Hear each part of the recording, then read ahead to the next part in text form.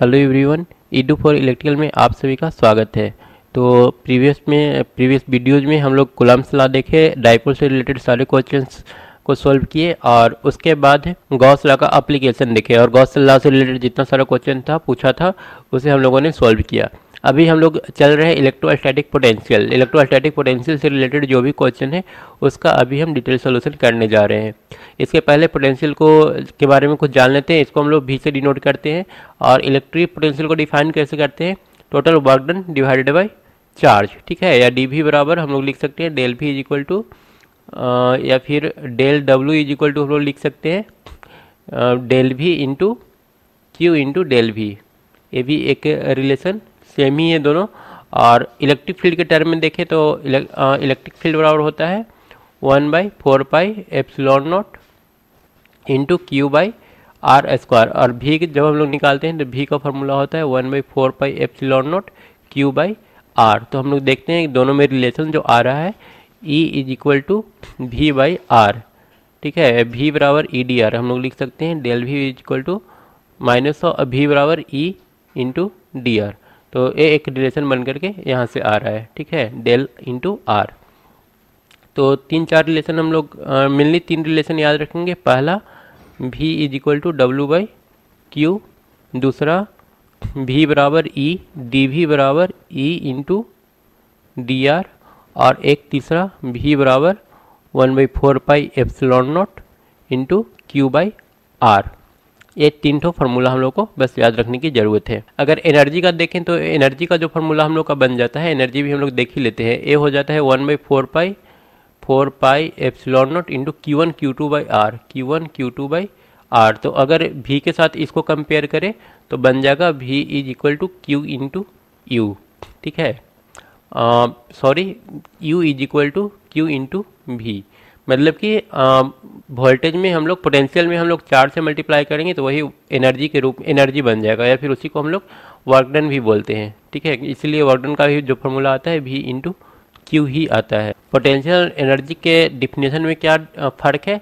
तो जब हम लोग हम लोग पोटेंशियल को डिफाइन करते हैं तो वहाँ पर बोलते हैं किसी यूनिट चार्ज को इन्फिनाइट से किसी निश्चित पॉइंट तक ले आने में किया गया कार्य ठीक है? यहाँ पर यूनिट चार्ज बोलते हैं। यूनिट चार्ज को इन्फिनाइट से किसी निश्चित पॉइंट तक लाने में किया गया जो वर्क डन होता है, उसी को हम लोग पोटेंशियल बोलते हैं। और जब एनर्जी को डिफाइन करते हैं तो यहाँ पर बोलते हैं किसी भी चार्ज को इन्फिनाइट से किसी निश्चित पॉइंट तक लाने में जो किया गया वर्क डन होता है, उसको हम लोग इलेक्ट्रिकल पोटेंशियल एनर्जी बोलते हैं। तो ये दोनों में माइनर थोड़ा सा फ़र्क है डिफिनेशन में। अब आते हैं, इसका क्वेश्चन देखते हैं, किस टाइप का क्वेश्चन पूछा गया है। तो 2014 में आते हैं, सबसे पहला question figure show the field lines of a positive charge is the work done by the field is moving a small positive charge from q to p is positive और negative. Q से p तक एक charge को move कराया गया है। बोल रहा है कि यहाँ पर जो वर्क डन होगा, वो पॉजिटिव होगा या फिर निगेटिव होगा। तो हम लोग फार्मूला क्या पर हैं? Work done is equal to Q into potential difference ठीक है? टोटल वर्क डन जो आएगा क्यू इंटू डेल भी के बराबर होगा। इज़ इक्वल टू हम लोग लिख सकते हैं Q into into V Q minus V P, जो टोटल क्यू पर पोटेंशियल होगा, उसमें से हम लोग पी पर के पोटेंशियल को माइनस कर देंगे तो हम लोग को टोटल वर्क डन मिल जाएगा।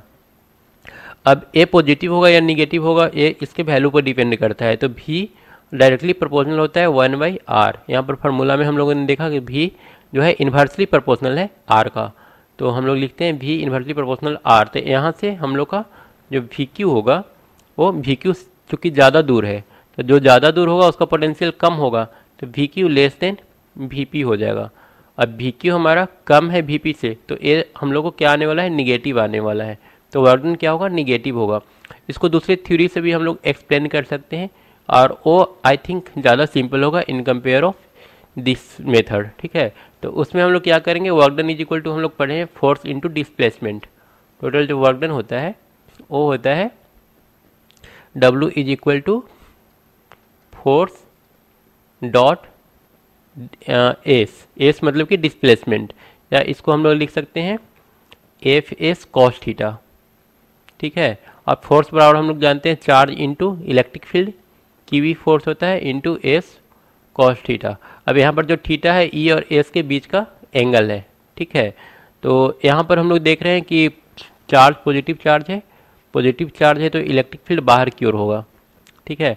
अब ए पॉइंट क्यू है और ए पॉइंट पी है। तो हम लोग का जो डिस्प्लेसमेंट होगा, उसको हम लोग क्यू से पी की ओर ला रहे हैं। क्यू से आ रहा है पी की तरफ़। तो डिस्प्लेसमेंट इस डायरेक्शन में क्यू टू पी और इलेक्ट्रिक फ़ील्ड का डायरेक्शन इधर। दोनों के बीच का एंगल कितना हो जाएगा? 180 तो ये हो जाएगा Q into E S cos one degree मतलब कि minus Q E into S displacement तो क्यू ई एस तीनों पॉजिटिव क्वांटिटी है तो यहाँ पर हम लोग का जो वर्क डन आ रहा है, वो निगेटिव आ रहा है। तो दोनों मेथड से हम लोग प्रूव कर सकते हैं कि हमारा जो वर्क डन होगा, वो निगेटिव ही होगा। ठीक है? उसके बाद आते हैं क्वेश्चन नंबर दो की तरफ़। For any charge configuration equipotential surface through a point is a normal to the electric field justify बोल रहा है कि जो हमारा इलेक्ट्रिक पोटेंशियल सरफेस होगा, हम मान लेते हैं चार्ज हमारा, या फिर इलेक्ट्रिक फ़ील्ड इस डायरेक्शन में है। ठीक है? यहाँ पर हमारा ए एक्स एक्सिस हो जाएगा ए हो जाएगा वाई एक्सिस ठीक है ए एक्स है। और इलेक्ट्रिक फ़ील्ड सीधा इस डायरेक्शन में है। तो हम लोग एक सरफेस बनाते हैं। ए हमारा जो सरफेस होगा, वो होगा एक्स जेड प्लेन में। एक्स जेड प्लेन में एक सरफेस हम लोग ड्रॉ करते हैं। ठीक है ये हमारा सरफेस है। इससे होकर के इलेक्ट्रिक फ़ील्ड लाइन पास कर रहा है। ये ध्यान रखना है ये जो सरफेस है एक्स जेड प्लेन में है। मतलब कि इलेक्ट्रिक फ़ील्ड पर ए बिल्कुल परपेंडिकुलर ड्रॉ किया है हमने। अब यहाँ पर बोल रहा है कि जस्टिफाई ए बताना ए है कि ये जो इक्वी पोटेंशियल सरफेस बन रहा है, इस पर इलेक्ट्रिक फ़ील्ड होगा, हमेशा 90 डिग्री ही होगा। ठीक है, यहाँ तो ऐसे हमने ड्रॉ किया है 90 डिग्री पर ए प्रूफ करना है कि 90 डिग्री ही होगा। तो इसको हम लोग कैसे प्रूफ करेंगे? हम लोग एज्यूम कर लेंगे कि एक पॉजिटिव चार्ज को पकड़ करके यहाँ से यहाँ तक लाया गया। ठीक है टोटल डिस्प्लेसमेंट एस करवाया गया। तो हम लोग जानते हैं इक्वी सरफेस पर जो टोटल वर्क डन होता है, वो ज़ीरो होता है। ठीक है? मतलब कि डी डब्ल्यू हम लोग का यहाँ पर ज़ीरो आ रहा है। और हम लोग डी डब्ल्यू निकालने का एक दूसरा तरीका भी जानते हैं, वो है फोर्स इंटू डिस्प्लेसमेंट ठीक है? अब यहाँ पर फोर्स की जगह पर क्यू इंटू इलेक्ट्रिक फ़ील्ड यहाँ पर डॉट प्रोडक्ट होगा ए और एस का। Electric field force into force बराबर क्यू इंटू ई लिखेंगे। क्लियर है? और into S cos theta A होगा। अब ए हम लोग को ज़ीरो करना है क्योंकि वर्क डन जो है वो टोटल ज़ीरो ही है। ए ज़ीरो कब आएगा? जब कॉस थीटा ज़ीरो होगा। क्योंकि हमारा इलेक्ट्रिक फ़ील्ड ज़ीरो है नहीं। जो डिस्प्लेसमेंट है, वो भी हुआ है, वो भी ज़ीरो नहीं है। चार्ज ज़ीरो है नहीं। ठीक है? तो यहाँ पर कॉस थीटा हम लोग को ज़ीरो करना होगा। और कॉस थीटा ज़ीरो तब होगा जब थीटा इज़ इक्वल टू होगा 90 डिग्री तो हम लोग बोल सकते हैं कि जो इलेक्ट्रिक फ़ील्ड लाइन होगा, इस पोटेंशियल इक्वी पोटेंशियल सरफेस पर हमेशा परपेंडिकुलर ही होगा। तो यहाँ पर की पॉइंट क्या है? की पॉइंट है D W is equal to zero मतलब इक्वी पोटेंशियल सरफेस पर जब हम लोग डिस्प्लेसमेंट कराते हैं किसी चार्ज को तो टोटल वर्क डन ज़ीरो होता है, ये हम लोग का की पॉइंट है। उसके बाद आते हैं क्वेश्चन नंबर तीन। यहाँ पर बोल रहा है two charge plus two microcoulomb और minus two microcoulomb plus two और माइनस टू माइक्रोकुलम है दोनों। ठीक है?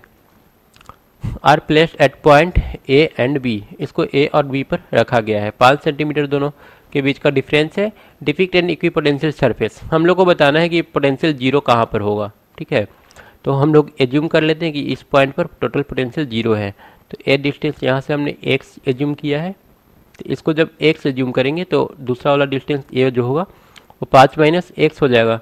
तो पोटेंशियल हम लोग निकाल सकते हैं। पोटेंशियल हो जाएगा one by four pi epsilon naught into Q Q हो गया यहाँ पर two into ten to the power minus six by R R हो जाएगा A multiplied in R R X into ten to the power minus two X को हम लोग हमने सेंटीमीटर में रखा है। तो एक्स अगर सेंटीमीटर होगा तो उसको मीटर में कन्वर्ट कर लेंगे। एक जो है हमारा, वो सेंटीमीटर में है। उसी तरह से सेकेंड वाला के लिए पोटेंशियल लिखेंगे तो चार्ज यहाँ पर निगेटिव माइनस टू और यहाँ पर डिस्टेंस पाँच minus X into ten to the power minus two अब इन दोनों को इक्वल करना है। इक्वल करने के बाद एक्स का जो वैल्यू आएगा वो टू पॉइंट फाइव आएगा, जो कि हमारा आंसर होगा इस सेंटीमीटर में। 2.5 सेंटीमीटर हमारा आंसर हो जाएगा। यहाँ पर पोटेंशियल क्या होने वाला है? ज़ीरो होने वाला है। चार नंबर क्वेश्चन है। Why electrostatic potential is constant throughout the volume of conductor अब कोई कंडक्टर हम लेते हैं। कंडक्टर के अंदर तो हम लोग जनरली इलेक्ट्रिक फ़ील्ड ज़ीरो लेकर के चलते हैं। हमारा जो इलेक्ट्रिक फ़ील्ड होता है वो ज़ीरो होता है। अब भी बराबर हम लोग क्या पढ़े हैं? भी बराबर ई बाई आर ठीक है? ई इंटू आर डी भी बराबर होता है ई डी आर अब यहाँ पर हम लोग का ई e ज़ीरो है। ई e ज़ीरो है मतलब कि डी भी ज़ीरो है। डी भी ज़ीरो है मतलब कि V one minus V two ए ज़ीरो होगा। V one minus V two zero मतलब कि वी वन बराबर वी टू मतलब जो सरफेस पर पोटेंशियल होगा, वही इसके अंदर में भी पोटेंशियल होगा। तो हमारा की पॉइंट याद रखना है ई e बराबर ज़ीरो कंडक्टर के अंदर का जो इलेक्ट्रिक फ़ील्ड होता है, वो ज़ीरो होता है, ये हम लोग का की पॉइंट है। ठीक है कंडक्टर का मतलब यहाँ पर हम लोग या तो सिलेंडर लेंगे तो सॉलिड सिलेंडर लेंगे, या फिर सॉलिड स्फेयर लेंगे। ठीक है, वो कंडक्टर का मतलब है। अगला क्वेश्चन है why is the potential inside a hollow sphere अब हॉलो स्फेयर के अंदर भी हम लोग सेम कंसेप्ट लगा सकते हैं। यहाँ पर अगर चार्ज क्यू इसके ऊपर है, स्फेयर के ऊपर दिया हुआ है तो अंदर में इलेक्ट्रिक फ़ील्ड ज़ीरो होगा, क्योंकि जब गॉसिन सरफेस बनाएँगे, इसको क्लोज करेंगे तो कोई भी चार्ज क्लोज नहीं हो रहा है। मतलब कि अंदर में इलेक्ट्रिक फ़ील्ड फिर से क्या होगा? ज़ीरो होगा। इलेक्ट्रिक फ़ील्ड ज़ीरो होगा, इसका मतलब कि D V is equal to zero और डी वी ज़ीरो मतलब कि V one minus V two zero और फिर वी वन बराबर वी टू तो सेम कंसेप्ट है। उसके बाद आते हैं क्वेश्चन नंबर छः में। Why there is no work done in moving a charge from one point to another on a equipotential surface तो इक्वी पोटेंशियल सरफेस के लिए वर्क डन निकालना काफ़ी सिंपल है। Work done is equal to हम लोग ऊपर फॉर्मूला में पढ़ चुके हैं क्यू इंटू डेल भी होता है। और जब इक्वी पोटेंशियल है, इसका मतलब क्या? डेल भी ज़ीरो और डेल भी ज़ीरो होगा तो वर्क डन भी क्या हो जाएगा? हो जाएगा ज़ीरो हो जाएगा। और इस कंसेप्ट से आगे जो प्रीवियस क्वेश्चन हम लोग तैयार किए थे सॉल्व किए थे, इसके आगे किए थे, ठीक है? इक्वी पोटेंशियल मतलब कि work done zero work done zero मतलब कि q into E d l u q into E into s cos theta zero और जब ए ज़ीरो तो थीटा 90 डिग्री तो यहाँ से सारा कंसेप्ट निकल करके आता है। ठीक है? यहाँ पर दो कंसेप्ट छुपा हुआ है। एक ए और दोनों से ही क्वेश्चन पूछा गया है। दूसरा ए जिससे रिज़ल्ट ए आ रहा है। दोनों क्वेश्चन पूछ लिया गया है। दोनों वन वन मार्क्स का पूछा है। तो आज बस इतना ही रहने देते हैं। उसके बाद आगे के लेक्चर में आ, हम लोग सात से आगे सोल्व करेंगे। Question number one two six तक आज हमने कंप्लीट किया तब तक आ, इस वीडियो को क्लोज करते हैं। Thank you.